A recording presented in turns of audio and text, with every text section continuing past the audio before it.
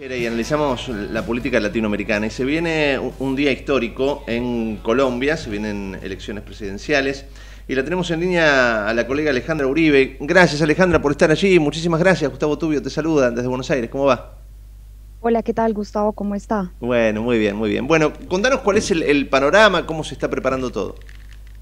Bueno, es un panorama que ha cambiado mucho desde el domingo, llevamos dos días con otro panorama. ¿Por qué? Porque la centroizquierda, podríamos decir la izquierda colombiana, pues cogió mucha fuerza aquí en Colombia. Estamos diciendo que prácticamente lideraron las elecciones al Congreso, es decir, el Senado y la Cámara de Representantes tuvieron muchísimas curules y muchísimos votos y por supuesto también la cual de la izquierda, liderada por Gustavo Petro, que es esa insignia aquí en Colombia. Entonces el panorama queda otra vez dividido en Colombia entre izquierda y derecha. Volvemos a lo mismo de hace muchos años. Liberales y conservadores, esta vez estamos entre los de la izquierda y los de la derecha. Ese es el panorama en Colombia. Aproximadamente nueve candidatos, algunos independientes para la presidencia, pero usted sabe que la cabeza de estas presidenciales pues las lidera la izquierda y la derecha otra vez en Colombia. Em, aparentemente, según por supuesto encuestas, esto puede llegar a cambiar, pero parecería que Gustavo Petro está a, la cabeza, ¿es así? Es así, en está las encuestas. una de las encuestas. Claro. Incluso hay que decir que ayer en uno de los debates, en el primer debate presidencial prácticamente, pues lideró él, claramente está liderando él, tiene muchos votos y bueno, ahora con la mayoría en el Congreso, pues claramente le daría un plus porque en ese orden de ideas al llegar a la presidencia, pues todos sus proyectos serían avalados y aprobados siendo mayoría en el Congreso. Sería un cambio de rumbo tremendo, ¿no? Con relación a lo que viene pasando en Colombia. Totalmente un cambio de rumbo. Devolvámonos un poquito en el tiempo. Estábamos con Álvaro Uribe, tuvimos sus gobiernos, luego llega Juan Manuel Santos con su proceso de paz, prácticamente siempre apuntando hacia la centroderecha.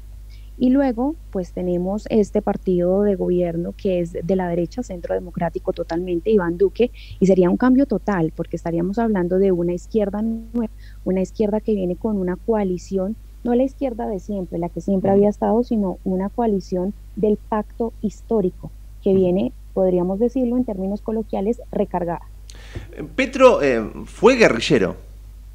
Sí, fue guerrillero del M-19 todos lo sabemos, eso no fue un secreto, no es un secreto, participó de un proceso de paz claramente, y es ahí donde está el punto a atacar de muchos candidatos presidenciales, porque muchos le están echando en cara, incluso en los debates, que él empuñó armas, y por eso él no tendría ningún tema ético para hablar de paz en este momento justo que estamos en la implementación de los acuerdos de paz. Sí, eh, en un país eh, partido al medio por, por la, angustia de los secuestros, ¿no? Eh, la, guerrilla ha secuestrado a, muchísimas personalidades, más allá de los asesinatos, ¿no? Pero ha, provocado eh, angustias terribles en, el corazón político y social de Colombia. Sí, claramente la guerrilla ha tenido su papel ahí protagónico. Ahorita, pese a que estamos en un acuerdo de paz, claramente, pues vemos las actuaciones de las disidencias de las FARC, del ELN que incluso atacó el domingo, dejando dos eh, soldados muertos, esto en el departamento del Meta. Y pues estamos ahí porque también hay otros grupos criminales, Clan del Golfo, los Caparros, todas esas personas pues están atacando y se han convertido en ese miedo ahorita en Colombia y también se han vuelto también en un tema de los debates. ¿Por qué? Porque ¿quién los va a combatir? Entonces eh, se acaba un acuerdo de paz. La guerra vuelve otra vez hacer ese factor denominante aquí en Colombia con lo del miedo, con lo que usted dice justamente. Alejandra, ¿cuáles son mm, las, temáticas que está apuntando la sociedad colombiana para, cambiar de rumbo? Porque uno desde afuera observa una Colombia ordenada, sin inflación, que ha crecido, que, no tendría macroeconómicamente tantos problemas, pero evidentemente eh, sí eh, hay una, una posición muy, muy fuerte en cuanto al regreso de la izquierda, evidentemente hay problemas. Hay muchísimos problemas. O sea, Colombia está bien en ciertos aspectos, pero por ejemplo el tema de la economía. Venimos de una pandemia que nos dejó destrozados. Claro. Venimos de una pandemia que nos dejó con la seguridad por el piso. La gente en las ciudades capitales está aburrida de la inseguridad no damos abasto, o sea, nos da miedo salir y se lo digo no como periodista, sino como persona, como colombiana. La seguridad está en ese tema. la recuperación económica, la reactivación económica y un tema que está también muy candente es el tema de las empresas, de ese empresariado, porque usted sabe que se ha hablado quizás de una expropiación y lo pongo entre comillas, o está la otra parte del apoyo a esa empresa privada. Esos son los temas álgidos. El tema pensional en Colombia, que es muy delicado, sobre todo en el tema de las edades, qué va a pasar con ese dinero, qué va a pasar sobre todo con las personas que, por ejemplo, tienen todas sus pensiones en sistemas privados o qué va a pasar con aquellos que las tenemos en sistemas públicos. Esos han sido los temas y por supuesto la guerra. La guerra, qué va a pasar con la implementación de los acuerdos de paz. Este gobierno deja aproximadamente implementado un 15%, pero todavía no está totalmente implementado. Alejandra, ¿cómo te va? Raúl Vázquez, te saludo, un placer. Vos sabés que eh, te escuchaba y me, volvía, me venía a la memoria parte de la historia colombiana que aquí este, de alguna manera hemos seguido mucho y demás.